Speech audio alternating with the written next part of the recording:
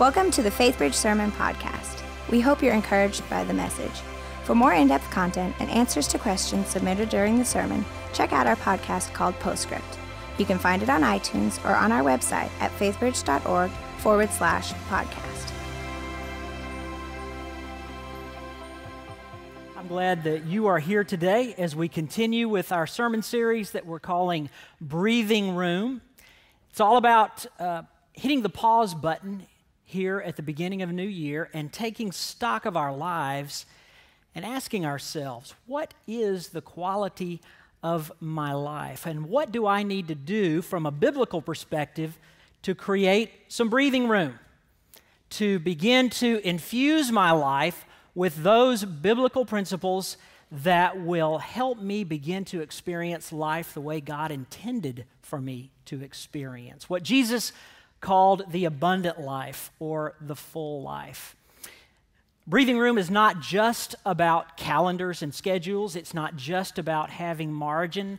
It's about any number of aspects of life. And today we're going to consider uh, another component of uh, a, a, a full life biblical community. What does it mean to have community? And how can that impact our lives in such a way that we have adequate breathing room to enjoy and experience life the way that God intended. But before we jump into that, let's take a minute and pray together. Father, we are grateful today for the privilege and the opportunity that is ours to gather here in your house, to lift up the name of your Son, Jesus, to worship him and to praise him and to experience the power of your Holy Spirit as He empowers and enables us to worship you and to experience fellowship and connection with you and with one another. Thank you for that blessing. Thank you for the gift of your word, for its power and its truth and its ability to speak into our lives. As we turn to it now, we pray that your Holy Spirit would be our teacher and guide us into all truth. We pray this in the strong name of Jesus. Amen and amen. One of the unique privileges of being a pastor is the opportunity that I have to regularly journey with people through the significant moments and seasons of their lives. For close to 23 years now, it's been a blessing beyond words for me to come alongside folks and celebrate with them in some of the happiest occasions of life. I've been able to uh, preside at hundreds, literally hundreds of weddings. I've been able to baptize infants, lead people to Christ, celebrate with people at milestone anniversaries, uh, pray with people at the launch of new businesses, all sorts of opportunities to come together with people and just say, Thank you, God, yay, God, for the amazing blessings that you are pouring out on us. I often pinch myself still, just cannot believe that I get to do this. It's, it's a wonderful aspect of pastoring that I'm very thankful for. And of course, there's the other side of pastoring as well the, the sacred duty, the sacred privilege that pastors have to journey with people through the difficult seasons of life. Getting that phone call that no one wants to get in the middle of the night, and racing to the hospital to be with a family in the emergency room, to be with a family in the waiting room. I've been privileged to conduct funerals and to walk with families as they grieve and say goodbye to someone that they loved very much. It's, it's all part and parcel of being a pastor and something that I will never take for granted. As I have made this journey with countless families and individuals, I, have noticed that there is a principle at work in all of the significant moments of our lives. In the happy occasions, if we are surrounded by biblical community, if we have friends who genuinely love us, care about us, are invested in our lives, and mean something to us. In the happy times, somehow, some way, the happiness is exponentially increased. There's just something about sharing the joyful moments of our lives with others that makes the joy even greater. And likewise, if we have those friends and we have that community when we move through the difficult seasons, the tough seasons, the hard times, somehow, some way, the pain and the difficulty is diminished. Doesn't necessarily go away. And sure, there are still things that we as individuals have to work on, but there's just something about being in community that increases joy and diminishes the pain. That's why we invite people to weddings because it's fun to celebrate this wonderful event with our community, with our friends. It makes it all the more fun. That's why we have funerals, because we need people in our lives to journey with us when we're going through those difficult days. Community increases joy and somehow diminishes the pain. Community provides that breathing room that we all need to experience both the good and the bad in the best possible way. I've also noticed, though, that the converse of this principle is true as well. If we do not have significant community, if we don't have close friends, if we don't have meaningful relationships, the fun times aren't as fun. And the happy times aren't as happy. What if you threw a party and nobody came? It's no fun to celebrate alone. And I think it probably goes without saying that one of the worst things that can befall a person is to have to suffer alone, to move through a difficult season with no one to reach out to, with no one to help us shoulder the burden of whatever it is that we're moving through. I think perhaps the saddest funeral I have ever conducted was some years ago, back when we were still living in Atlanta, Georgia. I got a phone call from the funeral home one afternoon telling me that uh, an elderly woman in the community had passed away. She was not part of a, a church, uh, but they, they needed a preacher. Would I be willing to do it? So I agreed that I would. And on the day of the funeral, the only people who were present were this woman's daughter and son in law and me. Three people in a cavernous chapel to conduct a funeral. I thought to myself, how incredibly sad. I mean, it's, it's hard enough losing your mama, but then to have to go through that experience by yourself, devastating, I am sure.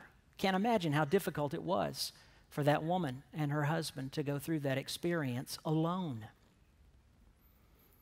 Here's what I know about you and me we were created for community. From the very beginning, it has been God's intention that we live in the context of, in the midst of, meaningful, life changing biblical community. Community that breathes life into us, that provides breathing room for us.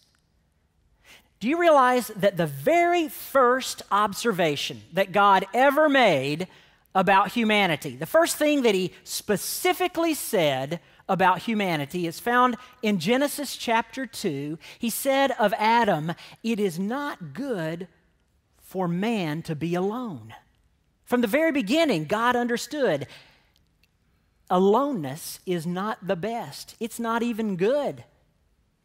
And when God decided to become a human being himself, when he took on flesh, he didn't arrive in some you know, bizarre, fantastical manner appearing out of nowhere. No, God came into the world just like all the rest of us do as a little baby into that basic unit of community called a family.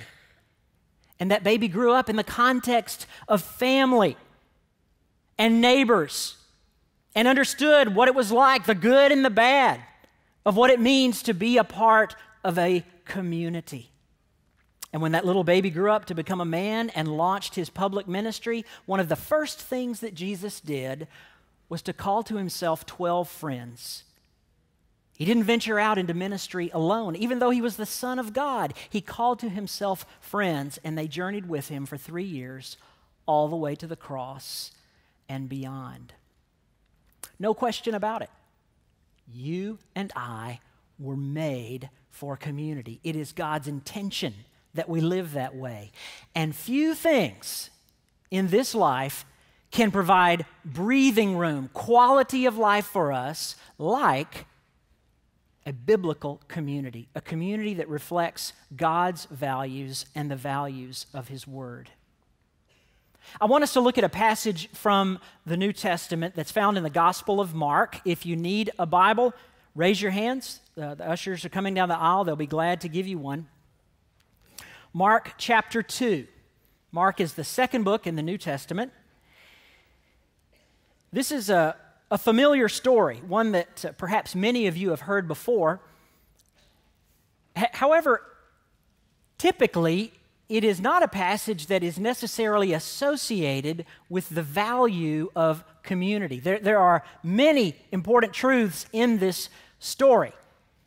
And community is certainly one of them, but it's not one that is usually thought of right off the bat as one reads this story. But I believe by the time we're done today, you'll see that it really does a powerful job of teaching us how vital community is to our lives and certainly to our walk with Christ. Mark chapter 2, beginning in verse 1. A few days later, when Jesus again entered Capernaum, the people heard that he had come home.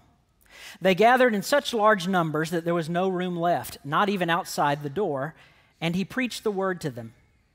Some men came, bringing to him a paralyzed man, carried by four of them. Since they could not get him to Jesus because of the crowd, they made an opening in the roof above Jesus by digging through it, and then lowered the mat the man was lying on. When Jesus saw their faith, he said to the paralyzed man, Son, your sins are forgiven. Now, some teachers of the law were sitting there thinking to themselves, Why does this fellow talk like that? He's blaspheming. Who can forgive sins but God alone? Immediately, Jesus knew in his spirit that this was what they were thinking in their hearts, and he said to them, Why are you thinking these things? Which is easier to say to this paralyzed man, Your sins are forgiven, or to say, Get up, take your mat, and walk? But I want you to know that the Son of Man has authority on earth to forgive sins. So he said to the man, I tell you, get up, take your mat, and go home. He got up, took his mat, and walked out in full view of them all. This amazed everyone, and they praised God, saying, We have never seen anything like this. I am indebted to John Ortberg for helping me to see two very important characteristics of biblical community. This story teaches, among other things, that community as God intended, relationships that lead us to a place of breathing room, have at least two very important attributes. And for the remainder of our time, I, I want us to consider those. And the first is that members of biblical life giving community prioritize serving one another. They prioritize serving one another. It's not about me and my needs and my wants. It's not about us. No. Members of this kind of community are on the lookout for one another. They understand they have a responsibility to each other. They count it a privilege to be able to serve and care for and love one another. If you think about it, it is a marvel that the man in this story had any community at all. Everything was stacked against him with regard to forming community. Certainly, culturally, it would have been very difficult for him to have had any friends because in that culture, in that day and time, a catastrophic illness was typically viewed as a judgment from God. It wasn't just an unfortunate occurrence in someone's life. No, if you were a paralytic, if you were a leper, if something was seriously wrong with you physically, most folks backed away and immediately understood I wonder what in the world he did. I wonder what his family may have done. Surely God's judgment rests upon this person. Otherwise, they wouldn't be in that situation. And so, to avoid guilt by association, or worse yet, to avoid perhaps judgment falling on themselves, people tended to give the sick a wide berth and stayed far, far away from them. And so, it says something about the character of these men who drew near to this guy. That in spite of the cultural norms, they would not be stopped. They were willing to enter into fellowship, into community. They were willing to serve this man. It's no less a marvel the man had fellowship when you consider not just the cultural uh, difficulties, but the physical difficulties involved as well. I mean, how in the world was he going to get out to make any friends? He was a prisoner in his own home, a prisoner on that mat. How was he going to get out and find friends in the first place? But somehow they found him. Somehow these fellows took the initiative to enter into fellowship, to enter into friendship, despite the difficulties associated with that kind of friendship if they were going to get together, inevitably it was going to have to be at his place, such as it was, or they were going to have to carry him wherever they were going to gather as a group. And if food were a part of the gathering, someone was going to have to feed him. And if he had an accident, someone was going to have to clean him. Not things that people were too particularly excited about then and now when it comes to being in relationship with others. And yet, these guys would not be stopped. They were simply amazing. They were not going to let anything get in the way of being able to serve this man and to provide him with what he needed. They were willing to do whatever had to be done to make sure that this man was served and able to experience life giving community.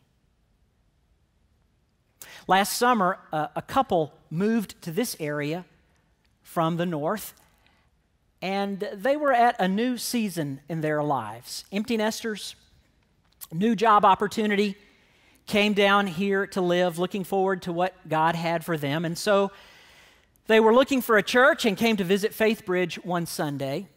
And while they were here, they learned about our Grow Group ministry and the opportunities that we have for people to be in community right here at Faithbridge. So they thought, well, we need some friends, let's go find some. So they went to visit a grow group and had a good experience, enjoyed it. Shortly after their first visit, he had a heart attack. Now, I'm sure it was tough enough just being in a new town and not knowing where things are and being away from all that was familiar and being away from friends and family. Uh, but then to have a heart attack on top of that, it must have been a terrifying experience for them. But in that moment, they experienced, they were the recipients of biblical community because this Faithbridge Grow Group kicked into high gear and began to pour out the love and the kindness and the service and everything that this couple needed to make it through those difficult days. They provided transportation and food and love and prayers and visitation and all of the things that this husband and wife needed to get through that. I was talking to the, the group leader just last week.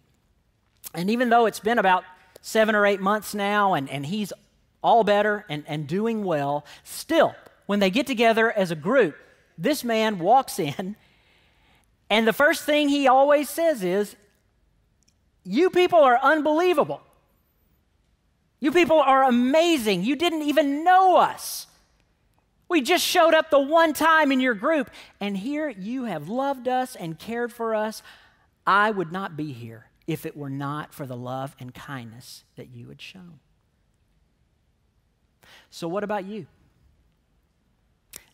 Do you have that kind of community in your life? If, if you or your family were to move through some sort of difficult season? Do you have the people around you who could move in close and love and care for you and extend to you the things that you would need, serve you in the way that you would need to make it through that? Do you have the capacity to offer that to someone else?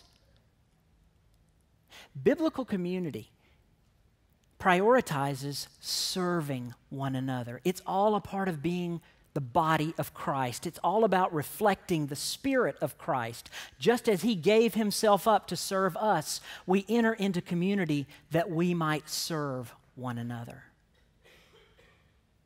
Another characteristic of life giving community is that it always draws us closer to Jesus. It always draws us closer to Jesus. If you think about it, the fact is, this man never would have met Jesus, never would have laid eyes on Jesus had it not been for his friends. He was a prisoner in his home. He had absolutely no way of getting himself to Jesus. Never mind the crowds, he was physically incapable. I don't know if you've ever had occasion to help carrying an adult human being, but it is an incredibly difficult thing to do. It is awkward. It doesn't lend itself to being an easy task. And while the text does not tell us if they carried him just next door or if they carried him clear across town, whatever the case, they did what they had to do to get this man to the feet of Jesus, even including tearing a hole in somebody else's roof. Can you imagine what the meeting with the insurance adjuster was like after that episode? Yeah, these guys, they just sort of did this. And in verse 5, Jesus says the most astounding thing. Picture the scene in your mind. There's a group of people jammed into this house, listening to Jesus teach, and suddenly folks begin to notice there's like plaster and straw and stuff. And look up, and there's this increasing hole over their heads, and oh my gosh, is that? Yes, that's somebody coming down. And the passage tells us because of their faith. Jesus said, Son, your sins are forgiven. He didn't say, Son, because of your faith. No, the combined faith of the friends and the man led to the man's salvation. The fact is, none of us come to Jesus alone. Any of us who name the name of Jesus as our Lord and Savior arrived in the context of community. Others helped bring us along. And if you stop and think about it long enough, you can look over your shoulder and see, oh yeah, all kind of people were responsible for bringing me to Jesus. Maybe it was mom and dad or other relatives, neighbors, friends, teachers, coaches, youth leaders, pastors, God has a way of assembling people in our lives who pour into us, who love us, who pray for us, who encourage us. And it's in the midst of loving community that we find ourselves at the feet of Jesus. We don't land there alone. And a biblical community is designed not only to serve one another, but to continually bring each other to the feet of Jesus to receive whatever it is that we need from Him. And not only do we come to know Jesus in the midst of community, we maintain our relationship with Him in the midst of community. The most dangerous thing in the world for a Christian to do is to try to go it alone. It's hard to be a believer. It takes devotion, discipline, commitment. And we need people around us to hold us in there to encourage us and teach us, to rebuke us and to forgive us, to remind us why we started doing this in the first place, to keep at it until the day comes that either the Lord returns or we go to see Him. We need each other desperately. Because everything about life is designed to push us away from Jesus. There's nothing about the world at large that is conducive to serving and loving and following Jesus. Everything about the world tells us it's a waste of time, it's a fairy tale, it's a myth. Go on and do what you want to do. And completely apart from an inhospitable environment, we have an enemy. The scripture says that he prowls around like a roaring lion, seeking whom he may devour. The worst thing that any of us can do is try to step out there alone and live for Jesus. Some of you may have seen last week the story about the former NFL player who somehow or another fell off of his fishing boat in the middle of the ocean and was stranded out there for hours on end. And as I listened to his story, I thought to myself, that situation is a perfect picture of a Christian trying to go solo. There's nothing hospitable about the ocean for human beings. It's all working against us. The water is salty. There are waves designed to overwhelm and drown us. There's wind, there's exposure. It's cold at night. The sun burns us during the day. Nothing about being in the middle of the ocean by ourselves lends itself to life. Not to mention, apart from the environment, there are enemies out there who would like nothing more than to devour us. God designed you and me to be in community, not only to come to the feet of Jesus, but to stay at the feet of Jesus and to make our journey with the love and support of others.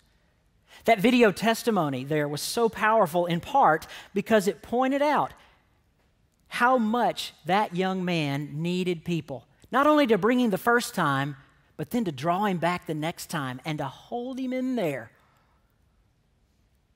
And lest any of us think that we're going to reach a place of maturity or understanding or age or knowledge that we don't need it anymore, don't be fooled, friends. Community is something we need to the very end.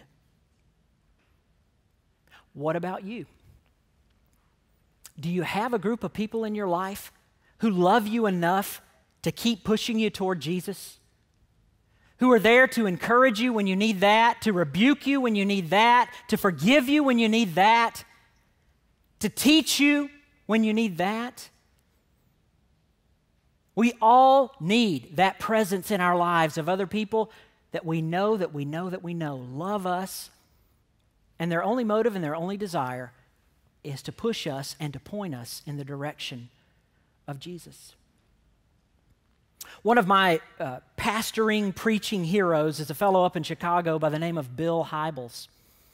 And Bill has articulated a, a spiritual principle that I think sums up very well what I'm trying to say here about the importance of of godly community, godly friends. You might want to write this down because it's definitely worth remembering. It goes like this Stupid rubs off. Stupid rubs off. I remember when I first became a Christ follower, I, I was the only one in my group of friends who had made that decision to follow Jesus. And in my uh, immaturity and naivete, I honestly thought that I could be the one who, who pulled the rest of them up. But the reality was, they were just pulling me down. And I am so grateful that an older, wiser, godly man came alongside me and said, Look, Dan, I know you love your friends, and, and I'm not asking you to give up your friends, but you need to have new friends as well. You need to have people who've walked with Jesus, who can help you grow up, who can help you become strong, so that your witness is more consistent and more powerful, and so that you are not so easily drawn back into the things that you are desperately trying to get away from. I'm grateful for that friend. I'm grateful for the grace of God that I was able to receive what he was saying to me. And so I began to invest heavily time and energy into a community that wanted to draw me closer to Jesus. I didn't give up my old friends. I mean, not for a minute am I suggesting that we shouldn't have non Christian friends. That's what we're all about, introducing other people to Jesus. But they can't be the source of our sustenance. They certainly can't be the only source of community that we have in life. Otherwise, we'll be pulled back in the other direction. That's been a long, long time ago, and it's been my uh, good fortune, tremendous blessing that with time and with growth and maturity, God was able to use me to lead two of those to Him. But that never would have happened if I had not, first of all, placed myself in a community of people who were bringing me to Jesus. Do you have that in your life? Do you have people around you who are helping you become more like Jesus every day? As I read this story, I began to think about this man and his experience on a daily basis. What must it have been like to live life as he knew it? How many times did he have to resign himself to his fate? I, I would have to think that someone who suffered with paralysis goes through uh, a resolve, an acceptance over and over and over. I seriously doubt there's just the one time that you say to yourself, well, this is it. No, I imagine every day of his life, he probably in some small way had to accept, here it is. Lying there on that mat in his home, uh, I wondered about nighttime. You know, everything's so much bigger and scarier and badder at night. How many times did he lie there thinking to himself, why me? Why did this have to happen to me? What, what could my life have been like if I weren't paralyzed? What would my life be like if I were free from this prison that I call my mat? Little did he know that one day, four friends would come along and make up a community, a fellowship that loved him so much. They would do whatever they had to do to serve him and to bring him to the feet of Jesus. And that in the presence of a loving Savior, he would be able to take that prison he had known for so long and with hands that actually worked, roll it up and with feet and legs that actually moved, he'd tuck it under his arm and walk right out of there, healed and whole.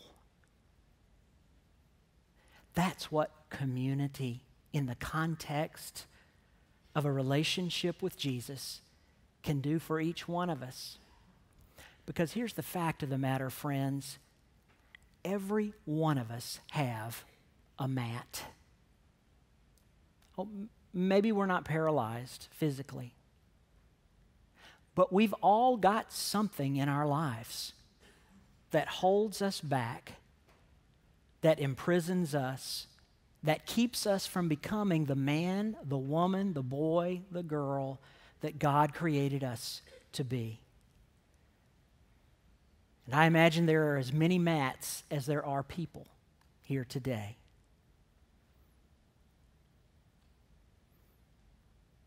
When the service is over in the atrium of Center Court East, our grow groups are going to be stationed out there for what we call a meet and greet. An opportunity for everyone to go out and learn what community is like here at Faithbridge.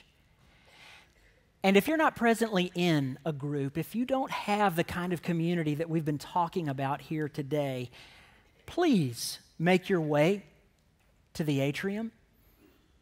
Talk to somebody, find out when do they meet? What are they talking about? Might this be a place for me and for my family to begin to experience the life giving, breathing room community that God wants to have for each one of us? Maybe you'd say to me, you know, Pastor Dan, I, I tried that once before and it didn't just didn't just click for me, it didn't work out. Well, try it again. Maybe you were at a point in your life back then where either you weren't ready or a group was not available to meet your needs. But don't write the whole thing off. Give God another chance. And look for that opportunity to find a group of people who will serve you and who you can serve, who will draw you and who you can help draw closer to Jesus. Will you pray with me? Father, thank you for creating us in such a way that we can experience and enjoy each other. Thank you for giving us the faculties necessary to relate, to converse, to love, to serve, to be a part of one another's lives in a meaningful, life changing way. I pray for all of my brothers and sisters here that in the coming days, perhaps even beginning today, you would continue to reveal to us and prompt us to move toward this gift. And I pray for anyone here who currently does not have it that you would open doors, create possibilities, so that each one of us could know the fullness of what it means to be in the body of Christ. And we offer our prayer in Jesus' name.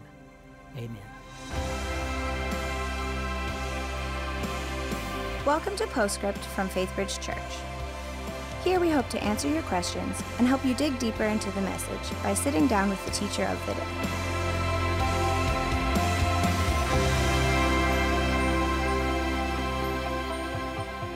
Hi, and thanks for joining us for another Postscript. My name is Justin Teague. I'm the Worship and Communications Pastor here, and I'm with Dan Slagle, uh, who just finished preaching part three of our New Year series called Breathing Room. Thanks for being here, Dan. Yeah. I'm actually going to go right into it. Uh, one of our Postscript questions that came in uh, while you were preaching during the 9 o'clock sermon question was What would your encouragement be for someone who has been in community before but has been wronged or deeply hurt and are now skeptical to try it again? Sure.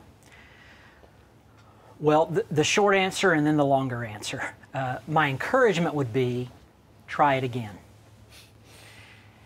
Uh, here's why. I think we always need to remember that because we live in a broken world composed of sinful human beings, the possibility is ever present for confusion, misunderstanding, hurt feelings, that, that sort of goes along with life. But that does not, in and of itself, cancel out the value of good community, n- nor the imperative that I think we find in God's Word to, to be in that community. I mean, there, there is not any reference in Scripture to be in community unless it goes south.